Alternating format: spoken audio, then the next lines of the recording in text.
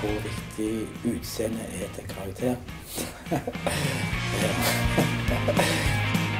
De mener jo noe, folk som ser deg, mener noe om barten din. Men du sjøl mener jo ingenting, for jeg går jo ikke og ser på den. Og det er jo bare interessant i det henseende av hvem som ser, og hvem som speiler hva. Før det så blir det jo ikke interessant, for at, eh, eh hvis du ikke visste om konvensjoner, så ville du ikke tenkt på det. Tenker jeg.